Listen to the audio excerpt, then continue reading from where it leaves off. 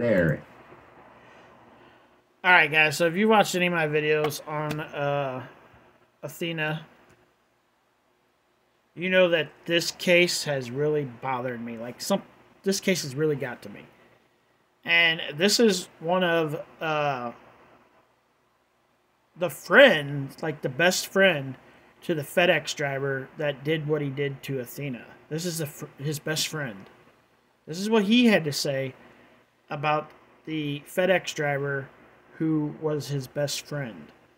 One of my absolute best friends since the fourth grade decided to do the unthinkable.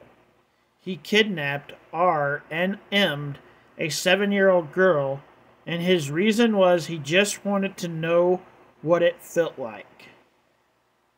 I'm crushed for this girl's family, and I'm at a loss for words. I can't believe you, Tanner.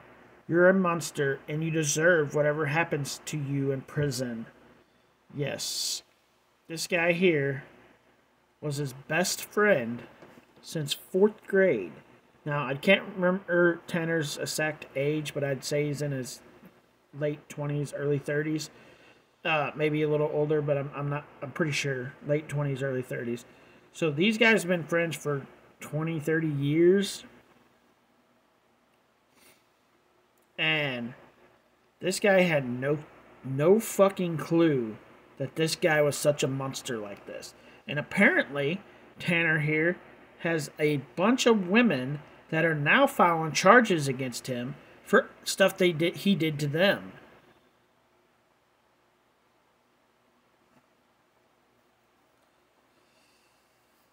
like I normally don't get so personal with these kind type of cases.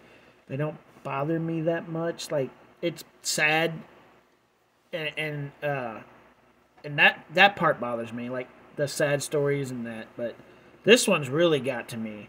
I really want to punch this dude, this Tanner dude in the face. I like the first person I've ever wanted to literally see him so I can It. Uh,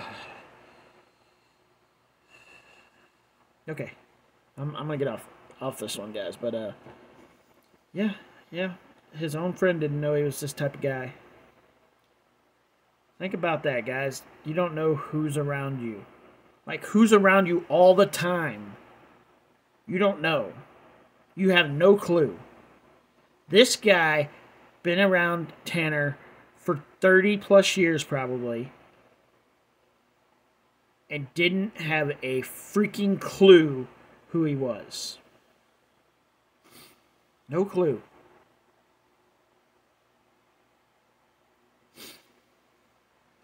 Alright, well, I'll let you go, guys. If you want to support my channel, you can check out my Facebook page, link in the description.